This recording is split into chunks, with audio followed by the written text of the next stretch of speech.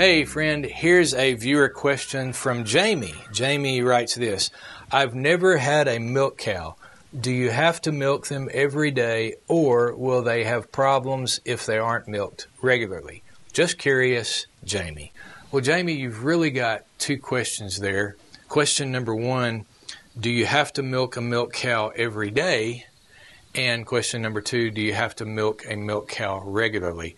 Well, the answer is um, yes. You have to milk a milk cow regularly, but that may not necessarily mean milking it every day. It really depends on the cow's production capacity. Now, at a commercial dairy, um, the calves are taken away from that mama within a very, very short period of time after calving, at least within three days. And after that, it's very important that you're going to milk that cow not only every day and not only regularly, but twice a day uh, at the same time because you don't want her to become engorged and mess with that lactation uh, cycle.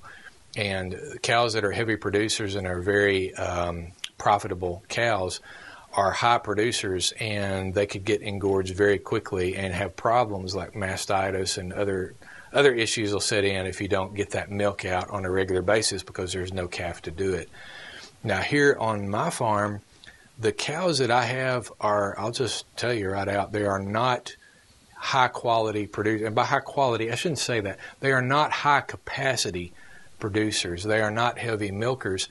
Uh, and they would uh, they would be culled at a normal dairy, but for me that works out great because I have less problems with uh, engorged cows or with um, generally less problems with mastitis because I'm not pushing them really hard.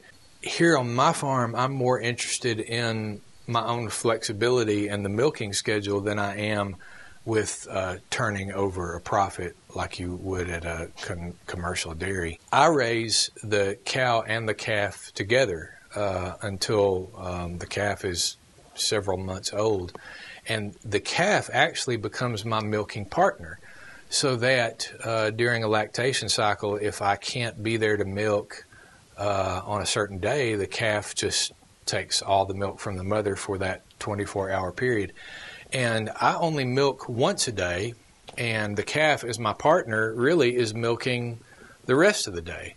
So the cow never becomes engorged and never has so much that she's uh, hurting or in pain or, or starts to cause problems. For the first few weeks after that calf is born, the calf is running 24 hours with the mama. She takes whatever is normal and natural. And then every morning I go out, monitor the situation, make sure the calf is doing well, and I will take from the cow uh, whatever is left over.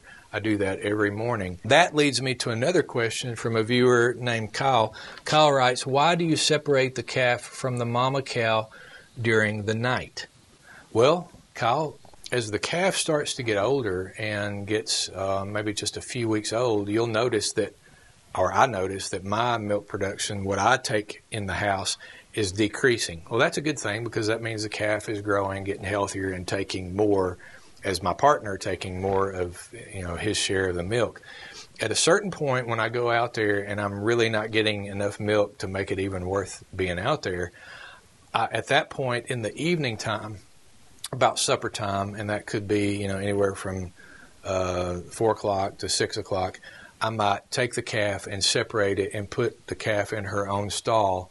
Uh, with a little bit of water, maybe a little bit of hay, a little bit of feed. It, it's not eating a whole lot at that of, of hard foods at that point. And then the next morning, I'll go out and milk the cow who's a little more swollen. She'll have a little more milk in her. And depending, I'll watch the calf. If the calf uh, is you know struggling with growth or whatever, I might save a quarter or two depending on for the calf. Or if the calf is doing fine, no problems, I might take uh, pretty much all the milk. I may not strip it all out and then leave a little bit for the calf for a little morning, you know, snack or meal. And then the calf runs with the cow the rest of the day until supper time when it all starts all over again. That works very well for small farms because you can raise uh, the calf together with the cow and not be so pressed on a milking schedule. One last thing to remember that over the course of a lactation cycle, which lasts for several months, the production of the cow, the quantity of milk, uh, might rise there at first for you know first three months, and then kind of uh, plateau, and then start to kind of taper down uh, toward her having the next calf. So the key to all this is observation. A good uh, husbandman, a good farmer watches his livestock, pays attention to everything that's going on, observes their well-being, their health, their alertness, their eyes, you know, tell a lot. So that is the beauty of being a, a husbandman, a, a, good husbandman, a farmer uh, to your livestock. Maybe you'd like to join in the discussion. Feel free to do that in the comment section below, or maybe maybe my rambling on has just brought up more questions. Leave your questions below. Do you have a question about another Farm Hand's Companion video, or just something off the top of your mind? Uh, go to that video, leave your question there, or leave your question here again. If I have time and if it's a good question, we'll try to answer it in upcoming installments of this, the Q&A show. And remember, please share these videos. If you like them, share them. It helps a lot. It really does. Thank you. I'm Pa Mac, and until next time, we'll talk at you later.